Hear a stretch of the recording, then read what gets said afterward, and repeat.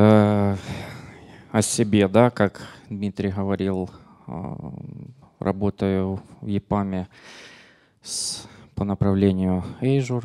Вот, развиваем это направление, э, разные проекты, все связанные с платформой Azure. И сегодня, чем бы хотел поделиться, это мониторинг. Да? Мой взгляд на мониторинг в общем.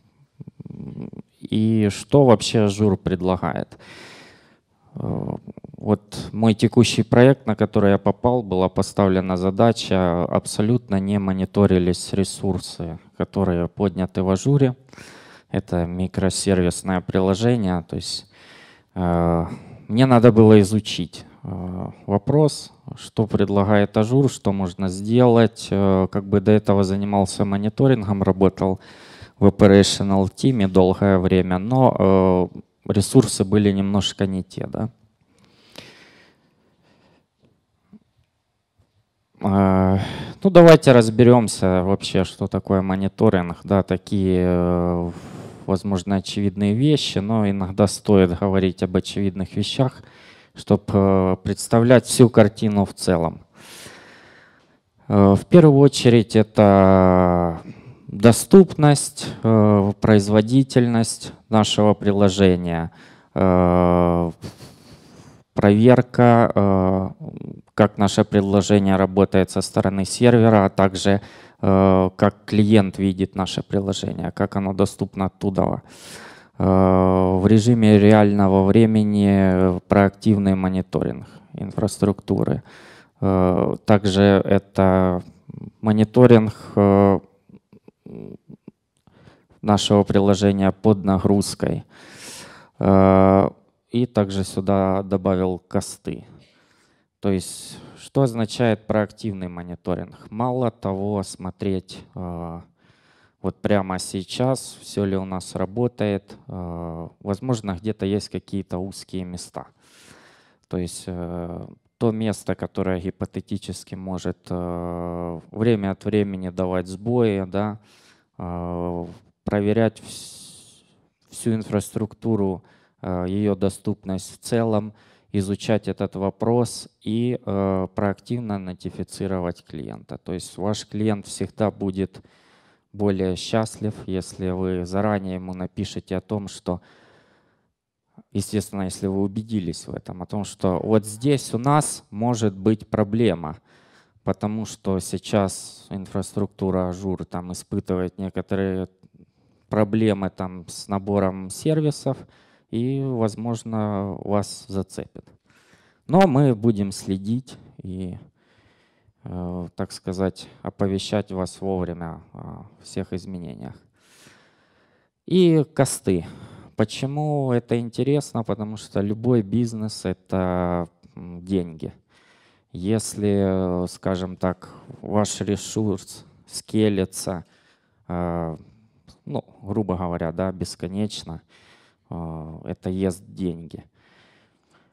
На это тоже стоит обращать внимание. И у Azure а есть э, некоторые инструменты, которые могут помочь с этим. Три основные части, да, которые есть в Azure е, это Cost Analytics, э, Azure Advisor и э, большой Azure Monitor. Первое — это Cost Analysis. А, что э, дает нам Azure. То есть на уровне подписки а, у нас всегда есть а, доступный сервис, фича, которая нам помогает разобраться с нашими счетами. Я не знаю, кто с Azure ом вообще работает. Можно руки поднять. О, отлично. Вот в прошлый раз рук было меньше. Поэтому я не зря второй раз рассказываю про Azure, потому как э, интересная платформа, кастомер, кастомеры заходят, пользуются, интересуются. Э, так, о чем я? Кост-анализ. Э, когда-то я еще помню время, когда это был отдельный портал, на него надо было запрашивать отдельно доступ. Сейчас это все интегрировали в Azure портал. Э, на разных вкладках нам доступны сортировка, которая базируется на ресурсных тегах. Что это значит? То есть помимо разделения логического ресурсов э, посредством э, деплоя их в разные ресурсные группы, мы также можем задавать теги. Да, зачем они нужны? Ну, первое, что сам Azure рекомендует, это э, косты. Мы можем посредством одинаковых тегов разделять наши ресурсы, смотреть, что сколько нам стоит денег. Э, все инвойсы выставляются раз в месяц счет. Ну, естественно, для того, чтобы не было неприятных сюрпризов, есть технические лимиты э, у самого Azure а. Лимиты вы можете поставить сами самостоятельно на э, своей подписке. И может быть такое, что вы провижените какую-то большую виртуальную машину да, с большим, большим tier ом, у вас выпадет ошибка Please contact to Azure Support. Просто это сервисный лимит, подстраховка, скажем так. Опять-таки Azure о вас беспокоится, чтобы вы не потратили слишком много денег. Также у нас есть а, прогнозирование наших денежных трат наперед, прогнозирование by resource, инвойсы, которые генерятся в удобный формат, можно передать в другие отделы. Приблизительно выглядит визуализация вот таким образом, да, то есть то, что более прозрачным цветом показывает, как мы могли бы тратить деньги в будущем, если наш тренд э, траты э, использования ресурсов сохранится. Вот так приблизительно это выглядит на портале. Можно генерить э, счета, э, инвойсы. В целом полезная штука, нужно туда иногда заглядывать, потому как если вы делаете какой-то пропозал, да, вот э, новый подход, новые ресурсы, а кастомер говорит, не, мы этим пользоваться не будем. Но причина просто банальная, это будет стоить в три раза дороже. Следующая штука появилась тоже относительно недавно, очень интересная, Azure Advisor бесплатный сервис, который нам э, дает Microsoft и э, предоставляет три э, таких блока рекомендаций по безопасности, опять-таки по костам, по доступности, по производительности. Выглядит все в принципе достаточно просто, но если инфраструктура большая, да, вот был опыт работы, это было более 200 подписок, куча сервисов. Э, в таком случае это очень полезно. Нет возможности проходить руками, либо раньше надо было писать скрипты на PowerShell для того, чтобы прогнаться, посмотреть, а нет ли у нас там каких-то ресурсов, которые не используются, либо не заосайненных там паблик IP адресов. Сейчас все в одном месте, все визуализировано, понятно. Можно зайти внутрь, если вы точно знаете, что этот ресурс в таком же состоянии должен и быть далее. Э, можно его отметить, исключить из этой группы. Также есть возможность автоматически обрабатывать это все. Но э, надо быть с этим очень аккуратным, так как очень много ресурсов есть э, в режиме превью, могут работать не так, как ожидаемо. Далее тоже интересный сервис э, Azure Service Health. Если раньше нам э, надо было для того, чтобы понять, как вообще Azure себя чувствует в целом, заходить на портал и проверять статус всех сервисов, то сейчас уже в самом портале э, есть Azure Service Health, можно вынести на дашборд. Очень понятный, простой сервис, приблизительно вот так работает.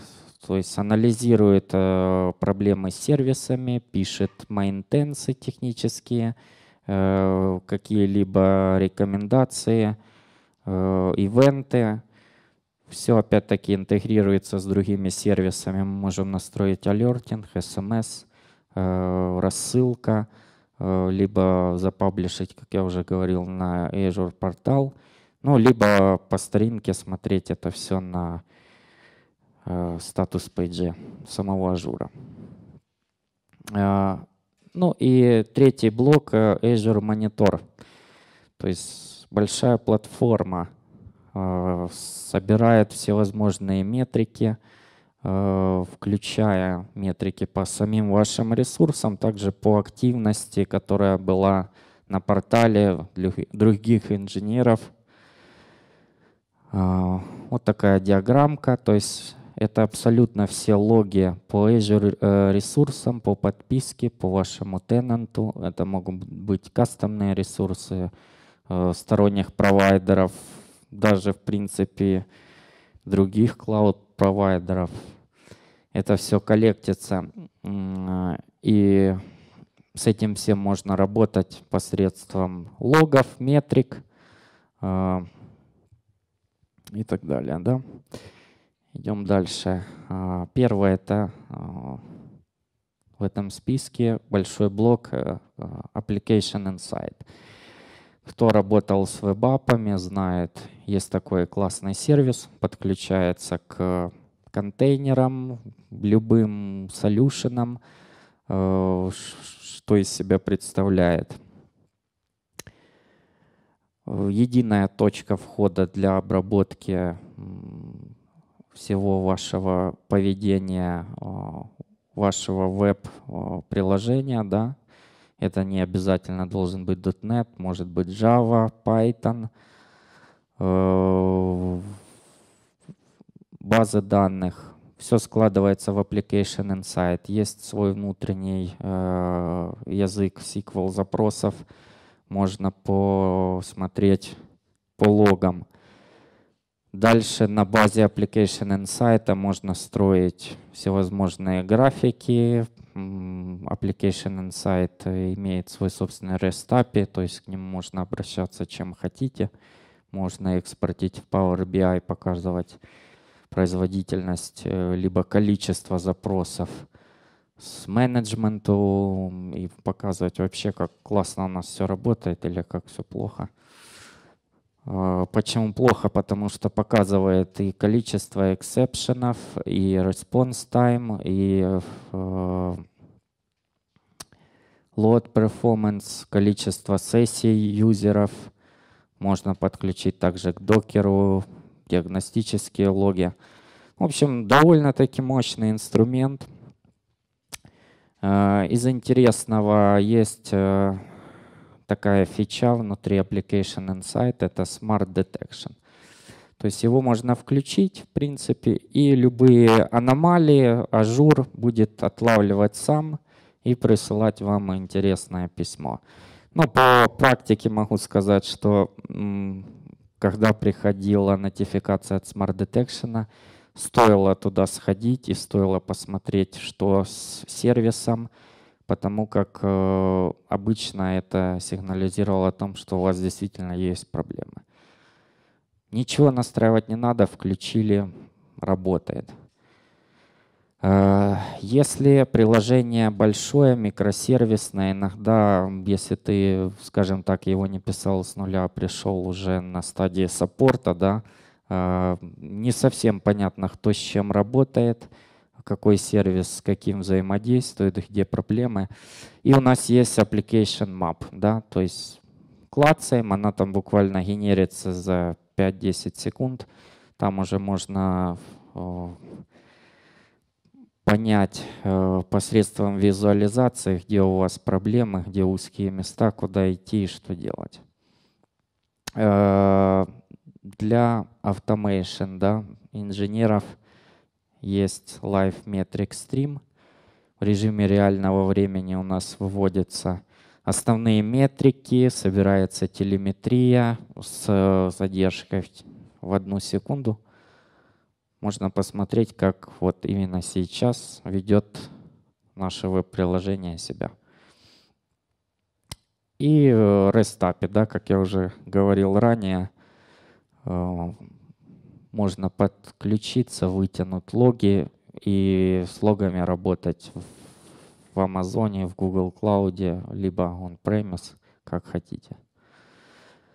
А, дашборды, да, в каждом application insight есть уже дефолтные дашборды, собирают э, доступность, количество request ов, время отклика, fail ов. Если вот здесь клацнуть на звездочку, то дашборд сразу за publish ится на вашу главную страницу на портале. Будет сразу наглядно понятно в один клик, э, как у вас дела. Э, визуализация, да, э, то есть все ресурсы всевозможные в Azure е, которые вы provision ите в своей подписке, уже имеют базовые метрики, которые можно просто в один клик положить на дашборд, распихать, как вам нравится, по размерам, либо экспортить в Power BI. Э, ну, уже с ними можно работать. Э, стандартных метрик довольно-таки много. Э, если есть желание и потребность, можно написать свои кастомные. Это Azure позволяет делать. В принципе, что мной было сделано на проекте, да, я взял просто все ресурсные группы, по ним прошелся, посмотрел, какие ресурсы используются, промониторил, почитал основные метрики, на основании их сделал дашборды для каждого типа ресурсов. И, в принципе, появилось небольшое drop-down меню с э, названиями дашбордов. Переходя на дашборд, уже было понятно, э, опять-таки, как себя приложение ведет. Ну вот, в принципе, пример метрик. Э, в основном есть э, availability тест для большинства ресурсов. Где нет availability, можно взять э, какие-либо другие метрики основные. Количество successful requests, failed и так далее. Настраивается все легко. То есть выбираем ресурс, тип метрик, нажимаем одну кнопочку Pin to Dashboard, и ваш мониторинг превращается вот в такой вид. Э, то есть мы поговорили отдельно об метриках. Есть еще у нас такой сервис, как Log Analytics. Чем интересен? такая большая платформа, да, э, сервис, за которую мы платим per гигабайт. Цена зависит от объема э, обработанных данных. Э, складывает, сюда есть возможность форвардить любые логи, начиная от логов виртуальной машины, и заканчивая какими-то кастомными логами. Сюда можно писать query, получать вот такие вот э, результаты. На основе этих query опять можно строить чарты. Э, если надо, эти чарты можно паблишить на дашборд. То есть у нас был сторонний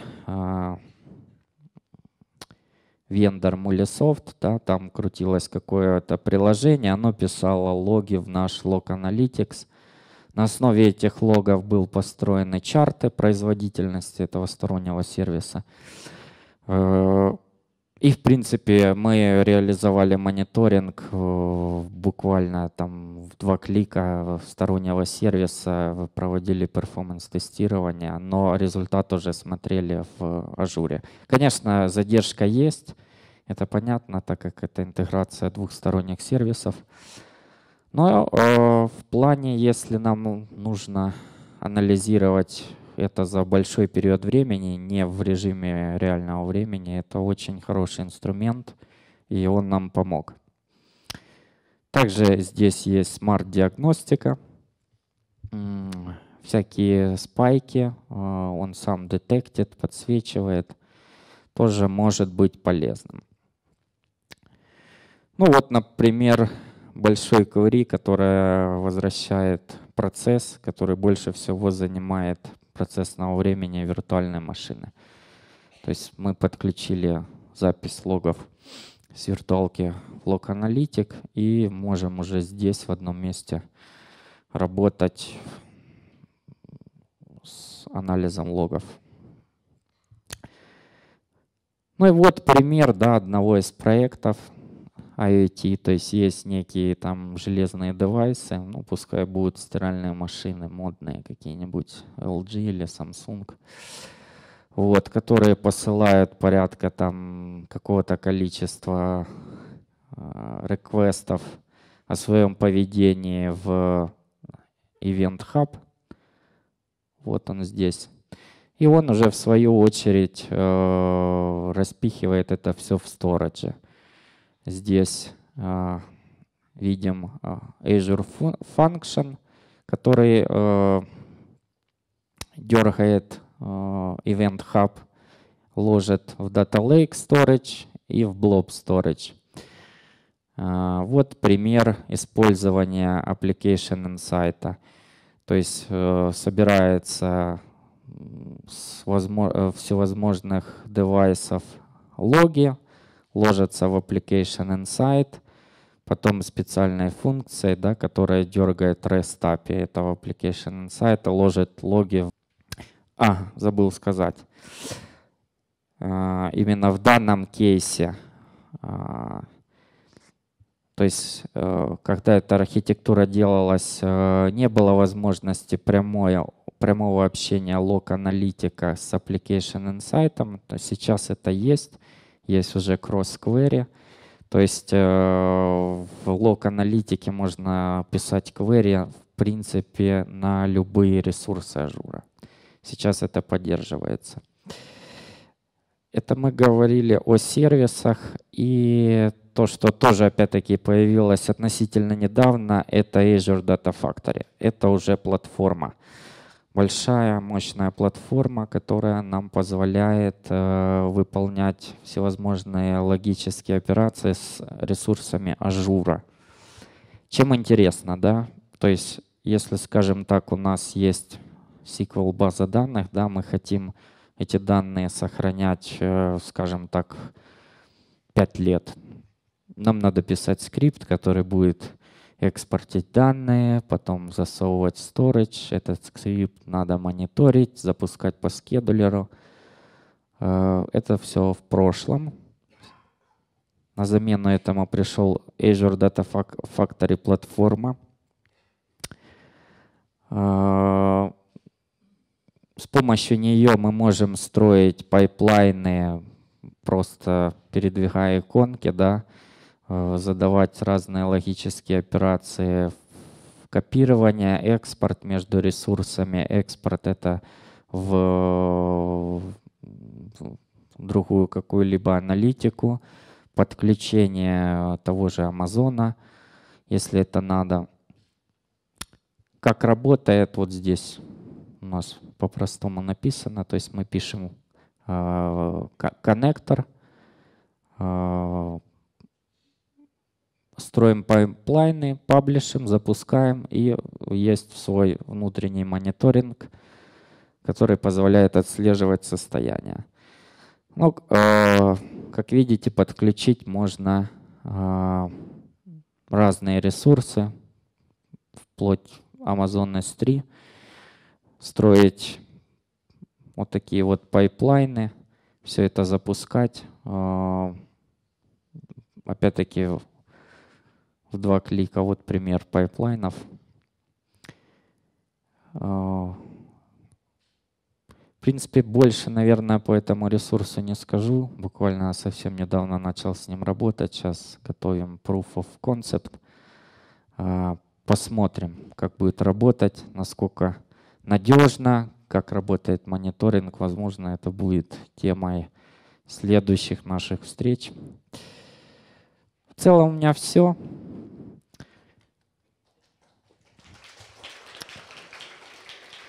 Ваши вопросы?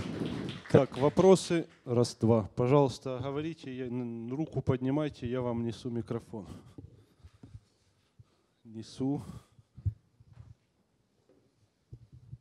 Виктор, спасибо большое за хороший обзор по мониторингу Azure. У меня возник вопрос, как там э, с дополнительными плагинами расширяемостью? Можно ли подключить и мониторить, например, внутренности виртуалок или контейнеры и собирать с них э, данные? Да, все можно.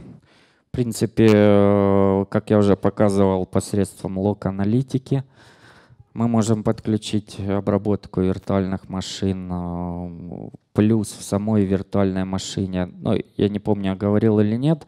То есть вы, когда покупаете ресурс в ажуре, да, вы не просто ресурс покупаете, а готовый сервис, и ресурс включает уже в себя сам мониторинг.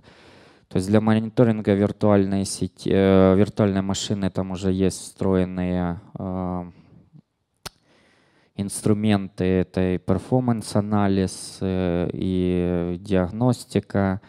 Внутри виртуалки сразу если это Win... а, ну да, в принципе и Linux, и Windows машина, туда ставится агент, который собирает эту метрику, и в пределах э, окна виртуальной машины можно посмотреть мониторинг уже вот с коробки.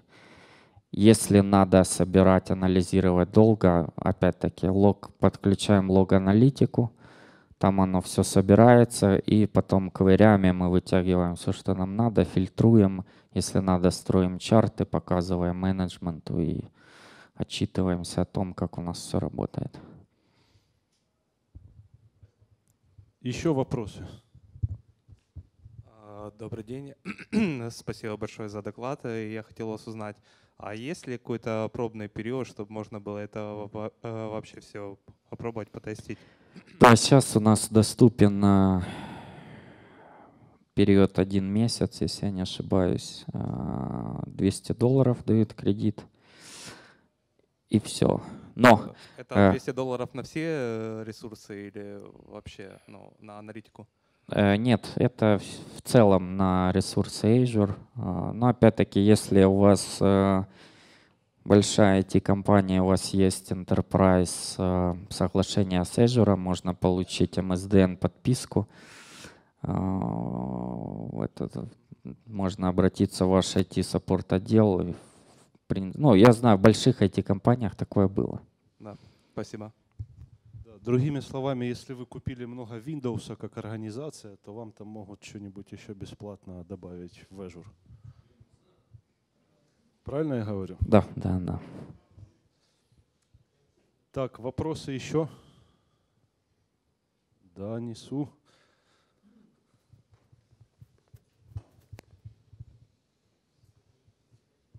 Добрый вечер. Спасибо за доклад. Э, подскажите, пожалуйста, насколько можно минимизировать э, период э, сбора метрик и насколько это будет дорого для владельца аккаунта? Ну, самое минимальное количество, то есть режим реального времени, что ли, сборка? Ну, понятно, что режим, нет, интервал сбора метрик. Ну, как я показывал, лайвстрим метрики отдают в режиме реального времени с задержкой одну секунду. Это, это минимум, который есть. Ну, а дальше от этого уже можно настраиваться. Это дефолтная или с дополнительную оплату? Тут оплата не за количество, а за объем трафика. Спасибо. Ну а там алгоритмы, как это считается, не скажу, но не дешево. Спасибо. Да, так, э, еще вопросы, пока Виктор думает, какой из вопросов был лучший, да, э, там призы есть вон какие-то.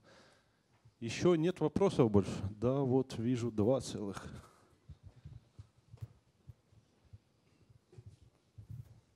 Здравствуйте, Виктор. Очень интересно. Спасибо за доклад. Много нового узнал. А, хотел бы спросить, э, первое, насколько э, вообще дорого внедрять аналитику и мониторинг, и на каком этапе можно подойти и сказать клиенту, что вот надо подключить то-то, то-то, то-то, и как вы определяете, что именно надо подключить, на каком этапе, с учетом бюджетов или чего-то еще. И второй маленький вопрос – это по health сервису показывали э, слайд небольшой. Э, какие есть вообще вариативности и настройки health чека? То есть как он работает? Это какие-то endpoinты или как-то кастомно можно это настраивать? Вот, спасибо. Ну, опять-таки, в плане денег все относительно, да, если вы работаете там с Днепропетровским стартапом, то, понятно, им подключить Application Insight будет стоить там два автомобиля директора. Вот. А если это большой enterprise solution по типу, я не знаю, там Danone, да, там можно и не ходить, да. Вот подключили, показали, менеджер говорит, отлично. Вот. Графики есть, мне нравится. И все, получил звездочку и работаешь дальше. Поэтому такое, все относительно, все зависит от клиента. Опять-таки, если это непродуктовая компания, получить доступ к костам ну, довольно проблематично потому как обычно заказчики эту информацию скрывают. Но если продуктовая, там, в принципе, видно, ты сам понимаешь объемы, да, там у вас годовые,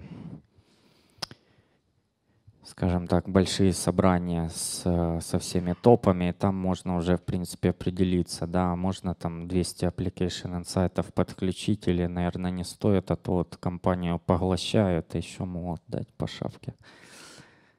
Поэтому э, все относительно. По поводу health чеков, э, тут э, сервис health, он больше, наверное, покрывает всю инфраструктуру всего Azure а, то есть небольшой дашборд. Э, он будет показывать, если э, у вас ресурсы в трех регионах, он будет показывать состояние э, этих трех регионов. Э, нет ли там никаких проблем. Это в общем, в целом. А по мониторингу каждого сервиса он индивидуальный. То есть если это Data Lake Storage, да, там нет теста availability. Если это, там, я не знаю, CosmoDB, там есть метрика э, availability. Можно ее просто вывести, по ней ориентироваться, все ли нормально с базой.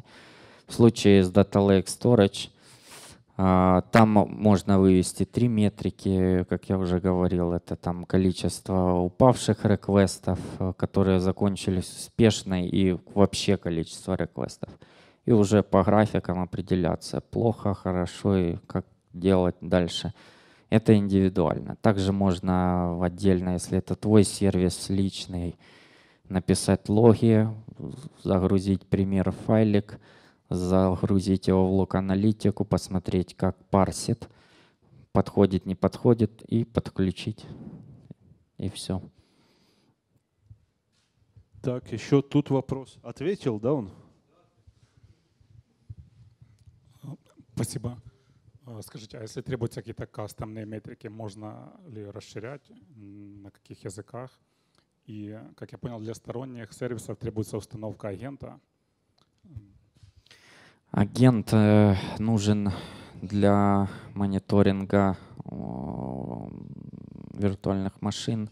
Но опять-таки по сторонним метрикам и по сторонним ресурсам все можно подключить в